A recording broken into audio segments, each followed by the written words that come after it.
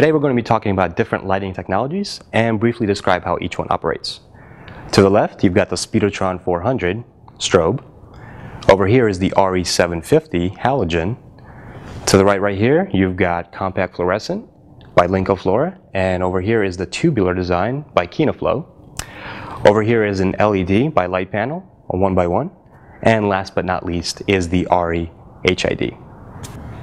Now before going into greater detail, let's quickly discuss how much each of these costs. Now the Speedotron is going to cost you about $3,000. That includes this clunky uh, power supply.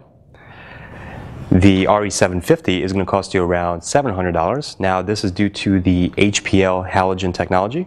Just means the bulbs will last a little bit longer. Next up is the Litepanels LED. This will be about $1,600. And uh, the uh, Arri HMI is going to cost you around $7,000. It's a good workout. Next up, you've got the fluorescent lights. You've got the Kino Flo tubular design. This will be about $1,400. And finally, the compact fluorescent by Linco Flora uh, will be roughly $300. And now let's talk about the advantages and disadvantages of each lighting system.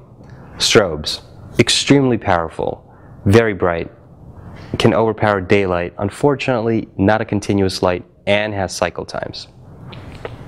Halogen, great for a spotlight fill, very bright, uh, but also very, very hot, can pose a fire or burn hazard. LED, extremely light, very easy to travel with, but an emerging technology. The light output still isn't there for the money you're paying.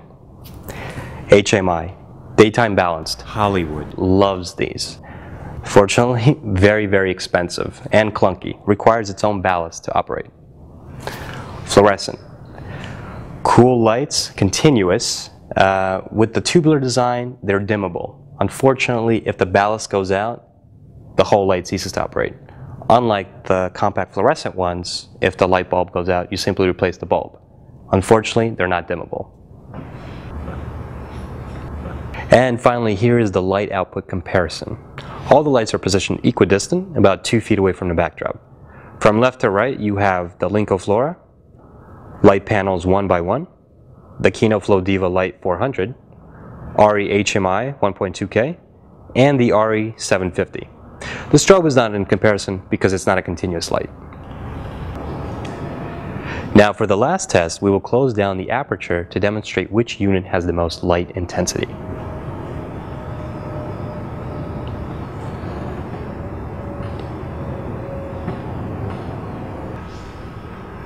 As you can see, starting with the brightest, we've got the Arri HMI 1.2K.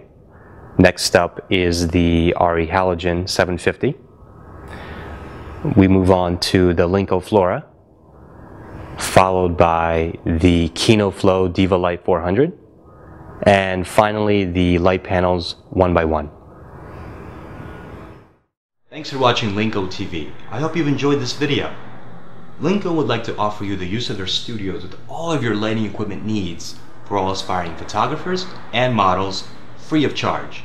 They are located in Santa Fe Springs, California. And for more details, feel free to email them below at the address.